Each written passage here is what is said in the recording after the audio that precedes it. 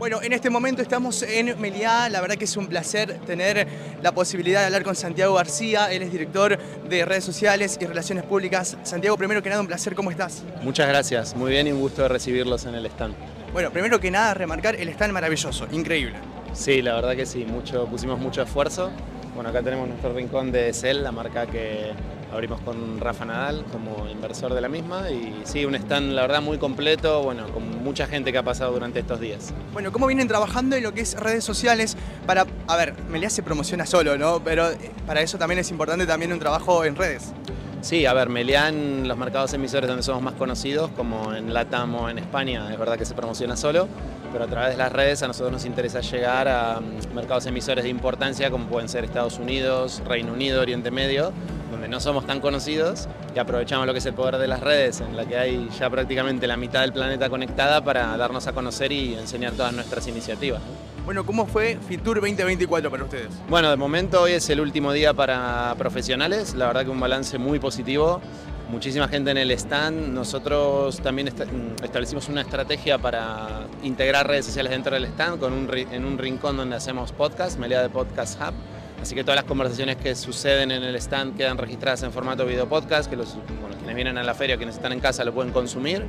Y la verdad, mucho éxito. sean bueno, como siempre, hay mucha presencia de negocios, eh, los compañeros en, comercial han estado muy ocupados y creo que un balance muy muy positivo que confirma lo que es la recuperación de, de los viajes. ¿no?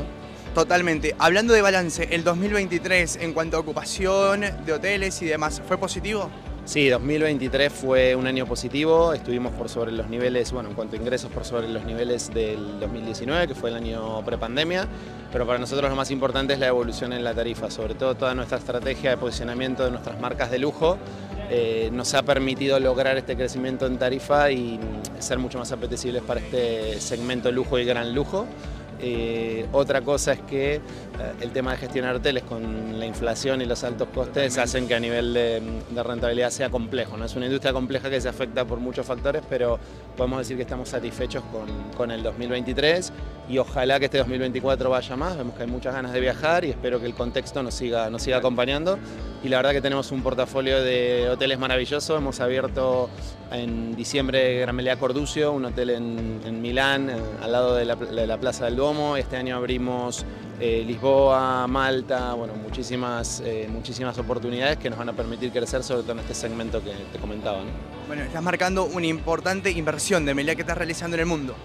Sí, hay una, hay una, inversión importante. Nosotros vamos a, fórmulas de, en muchos casos de gestión, en las cuales trabajamos con, partners, con inversoras eh, que realizan gran parte de la inversión y nosotros gestionamos y ellos aprovechan nuestro, nuestro know-how.